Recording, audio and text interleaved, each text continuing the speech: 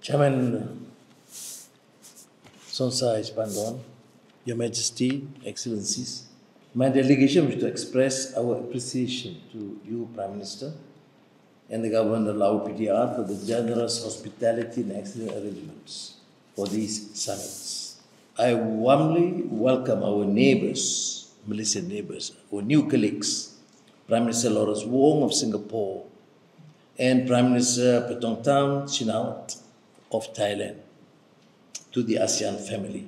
I wish to convey Malaysia's deepest sympathies to Laos, PDR, Myanmar, Philippines, Thailand, and Vietnam for the recent devastation caused by Typhoon Yagi. Malaysia stands ready to render support with the recovery efforts. Your Majesty, Excellencies, in 2025, as ASEAN celebrates the 10th anniversary of the ASEAN community, it is our conviction that ASEAN will be in a stronger position to face challenges and embrace opportunities.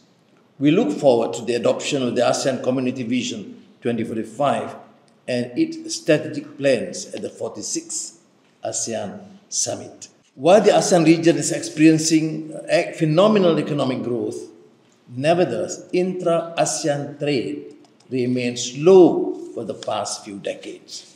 I believe there is vast potential for enhancement in this regard, particularly with the upgrading of the ASEAN Trade in Goods Agreement to be signed in 2025. To drive ASEAN strategic engagement in growing trade, investment linkages and digital transformation, I propose the following. Strengthen our fundamentals, bolster regional value chains and regulatory cooperation, reinvent, restructure, and recalibrate our economies and leverage on each other's strength, redraw and secure regional supply chain and its linkages to the global economy.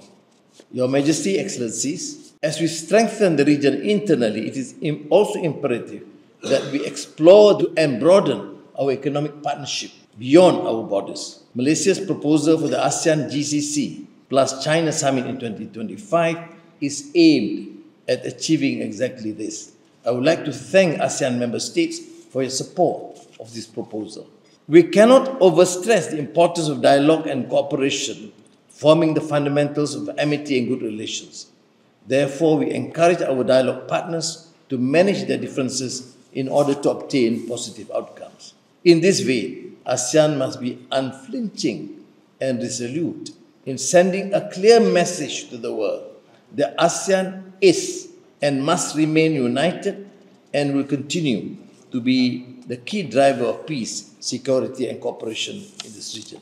Thank you.